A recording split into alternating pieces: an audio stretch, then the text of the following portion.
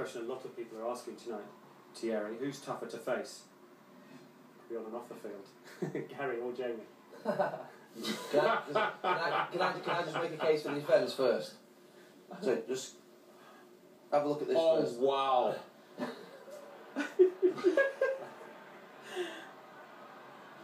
Backpedaling, I'm tired watching this.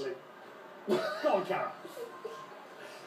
Do you know something? Do you know the biggest, do you know the biggest problem that, and no one's ever spotted this, by the way. Right. And it, I'm, I'm out of breath now. th- this, this, this is this is the, this is the key part of the analysis on this. It's not the fact that Thierry Henry runs past him. Stefan Henchoz runs past him.